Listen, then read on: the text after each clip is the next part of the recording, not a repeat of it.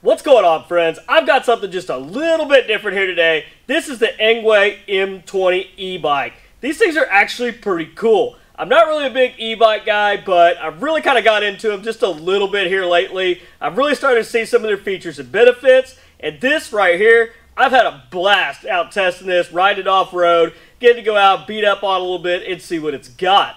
Now this thing is absolutely awesome. It is kind of heavy for the bike, but the first thing you will notice is that it does have dual batteries on it. The dual batteries on this thing allow it to have a range up close to about 90 miles. And I can attest to that for when I was riding it, I was getting about 30 miles per battery, but that's with me on the throttle a lot and not really doing a whole lot of pedaling. Of course, that's going to vary by your terrain. But for the most part, anywhere from about 30 miles is about average of what I was getting on a high level pedal assist and using the throttle quite a bit.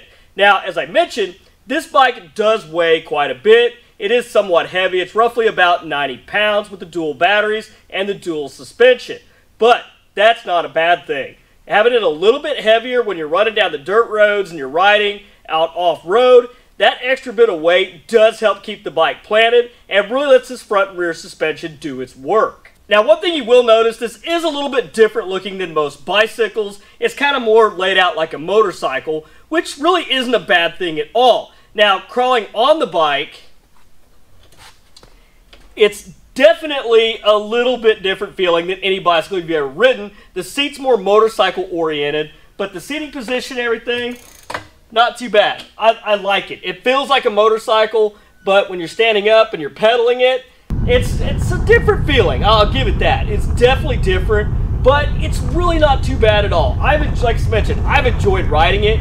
It's been wonderful for me. Just you got to kind of be a little wary of this battery. Watch what you're running over because you definitely don't want to get bounced off the pedals and land on the battery.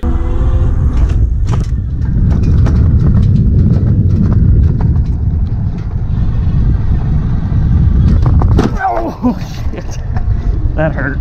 Now, the only bad thing about this, there's no seat adjustment on it. So what you see here is what you get.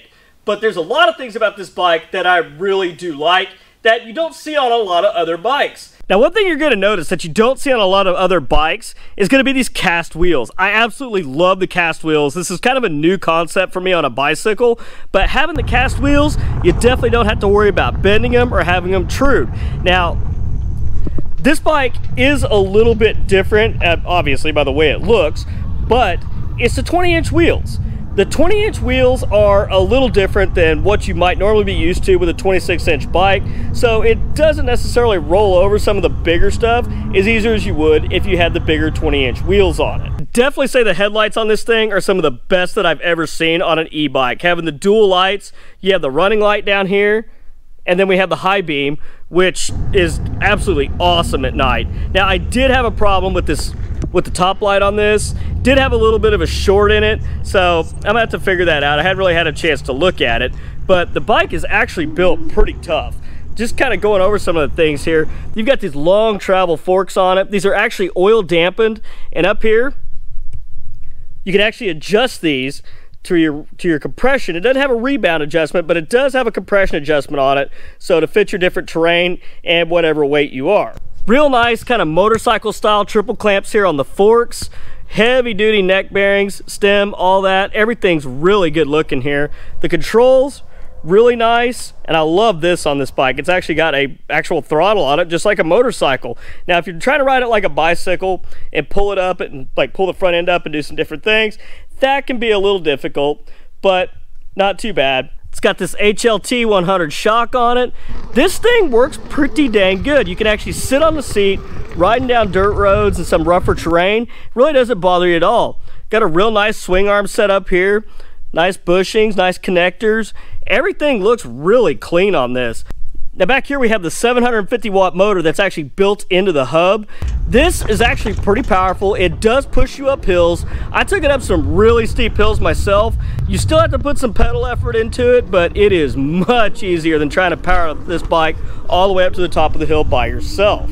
Now, as you mentioned, we got the dual battery set up here. You can run one battery at a time or both batteries at a time. It doesn't add any extra power, give you any extra speed, but definitely works for a lot of range. pedaling this thing, if you keep it in a lower mode and you kind of do a mix of running the throttle or pedaling, I could definitely see getting probably probably closer to the 70, 80 mile an hour range out of it. Just depends how much you use the pedal assist and how high you have it turned up. Now to turn her on, as I mentioned, you can use either battery you want. We'll just go with the bottom battery here. Go ahead, turn it on, got your miles per hour. You come in here and you can set your pedal assist up for whatever you like, one through five. Five actually gives you quite a bit of pedal assist. One does pretty good. Got your standard horn here.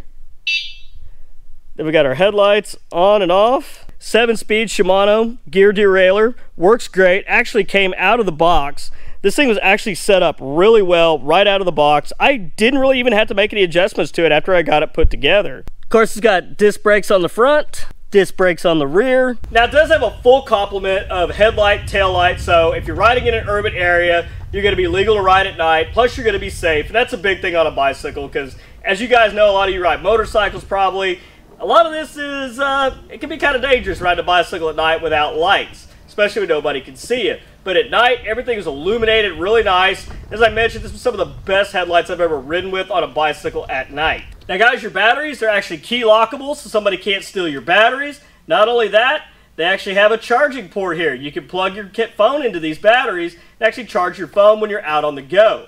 This thing has a lot of neat uses to it. So many good uses for these. If you guys take trips with your motorcycle, if you got a toy hauler, however you haul your motorcycles, if you don't ride them there, throw these in there because if you guys go to a campground, they have quiet hours or something, these are awesome to get up. If you got to get up after hours or something, run to the restrooms, these are awesome to hop on. You're not going to wake everybody up around you. Not to mention if you live in a small town or something or you commute in an urban area, these are wonderful for that. I've had a great time actually using this to go to some of our college football games. I can park kind of somewhere away from the crowds, hop on this thing, ride it all the way across campus, lock it up, go to the game, come back out, and ride it back. Now, top speed on this thing, basically what I've kind of gotten out of it, I was getting about close to about 25 miles an hour. If I'm pedaling it really, really hard, maybe got a good downhill, you can definitely see over 30 on it. And it's got the speedometer on it, so you're getting pretty close there. I kind of GPSed it on the phone a little bit. I didn't have a phone mount on it, but I could definitely tell. It was within a mile an hour or two, but does it really matter on a bicycle? But anyhow, guys, if you're interested, I'll leave the links below. They've been very generous to give us a nice little discount code if you'd like to pick one up. These things have a lot of uses. They're a lot of fun to ride. Not to mention, the kids love them as well. And especially, having one of these kind of the off-road bikes, these can actually go anywhere. And not with the knobby tires on it, Riding down the road, it's a little noisy, but it's not too bad. As I mentioned, with it being an off-road bike, the tires on these things are actually puncture resistant. I've taken this on a lot of dirt roads with a lot of sharp rocks, a lot of different terrain. Hadn't had an issue one out of it. But anyhow, guys, that's all I've got for you on this video. If you guys enjoyed the video, don't forget to drop a like. Consider subscribing to the channel if you haven't done so already. But also, leave a comment on your thoughts on these. What's your thoughts on e-bikes? Have you got into them? You paid any attention to them? I think they're pretty interesting, kind of a neat piece. But anyhow, guys, I'll be back Friday with one of my regular videos, so stick around for that. But until then, you guys stay safe on the streets, ride smart, dodge those cars, and I'll see you back here Friday in the new video. Thanks for watching.